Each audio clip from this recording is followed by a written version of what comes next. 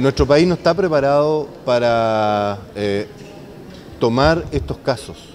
No ha, nunca no, ha tomado en cuenta el problema de la violencia que hoy día ocurre dentro de las parejas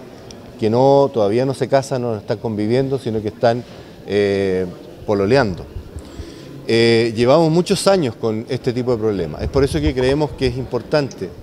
que el día 7 de febrero que es una semana antes del 14, que cuando se celebra el Día del Amor, el Día de los Enamorados, se celebre este, eh, o se, celebre este día que es la no violencia en el pololeo, a fin de que podamos hacer conciencia en el país a ese más de 51%